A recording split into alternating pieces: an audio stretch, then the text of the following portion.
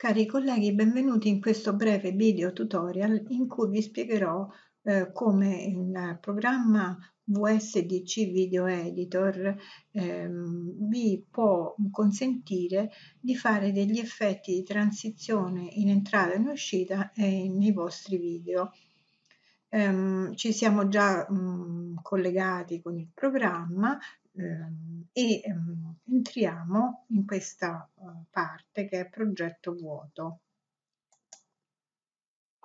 Diamo un titolo al nostro eh, progetto, prova effetti video, lasciamo tutto come sta e a questo punto andiamo sempre ad importare il nostro video che abbiamo nel computer eh, andando su questa icona qui.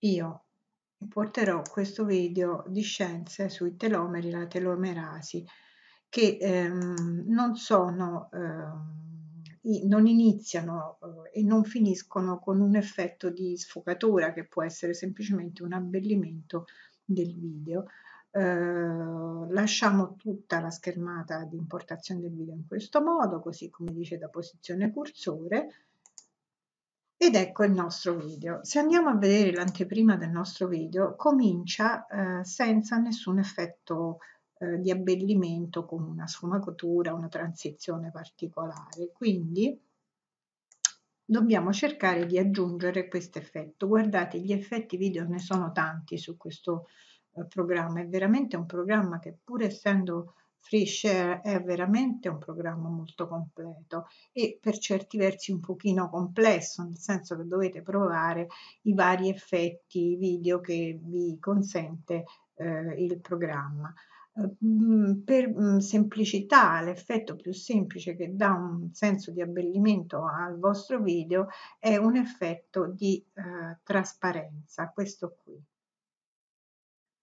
con una, noi useremo l'apertura in dissolvenza e la chiusura in dissolvenza del video. Sono i due effetti che in genere eh, rendono eh, più carino il vostro video. Apriamo in dissolvenza quindi e diciamo che la nostra apertura in dissolvenza è dall'inizio della scena io ho una durata già messa qui di circa 3 secondi, se voi la volete cambiare la potete fare più lunga, basta che digitate un altro valore. In genere 3-4 secondi dovrebbero andare bene. Diamo ok e come vedete qui abbiamo eh, già eh, l'effetto inserito nella vostra timeline. Andiamo a vedere l'anteprima ed ecco che c'è la dissolvenza in entrata e poi continua il nostro video. Se per caso vogliamo aumentarla un pochettino, la dissolvenza in entrata, non, non, non c'è bisogno di ritornare sulla modifica dei secondi che abbiamo visto nella maschera precedente, possiamo anche allungare questo effetto di apertura in dissolvenza cliccando col tasto sinistro del mouse e aumentando o diminuendo l'effetto. Quindi diciamo che i nostri tre secondi possono andare bene. Adesso dobbiamo andare ad aggiungere un effetto di trasparenza in chiusura, chiusura in dissolvenza, al nostro video. E che cosa ci propone eh, il programma? Ci dice che la dissolvenza deve arrivare fino a fine scena, il che ci va bene. E poi ci dice anche quant'è la durata, ci dice 4 secondi perché probabilmente prima quando io ho modificato qui da 3 è andata a 4 e quindi automaticamente il computer cerca di darci gli stessi valori sia nell'apertura che nella chiusura in dissolvenza. Gli diamo un ok e andiamo a controllare l'anteprima della chiusura in dissolvenza. Questa è la chiusura in dissolvenza. Sempre come abbiamo già detto possiamo aumentare un pochettino la chiusura in dissolvenza spostando col mouse e tasto sinistro eh, l'effetto. Possiamo anche fare la stessa cosa qui. Possiamo fare anche una chiusura e un'apertura di diversa durata.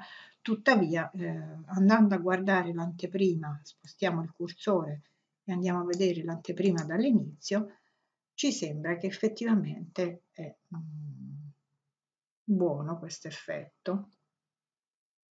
Avremo sia un'apertura in dissolvenza che ovviamente una chiusura in dissolvenza. Fatto ciò, dobbiamo, eh, come sempre, andare a, a salvare eh, questa modifica andando appunto a esporta progetto. Per salvare bisogna usare sempre esporta progetto.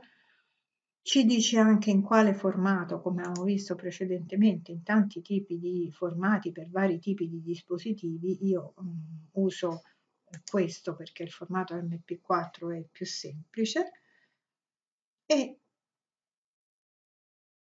vado ad esportare il progetto. Ricordatevi sempre che questa parte qui più evidente non la dovete usare perché è semplicemente un modo per invogliarvi a pagare eh, qualche aggiornamento, qualche integrazione. Noi, voi dovete cliccare su continua che è questa parte trasparente poco visibile che vi consentirà di usare il programma in maniera del tutto free.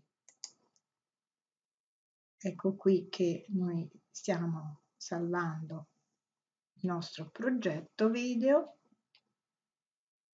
e anche attuando la conversione in MP4.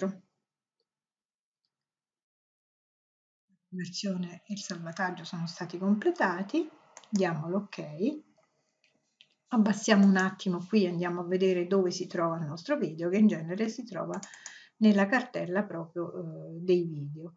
Eccola qui,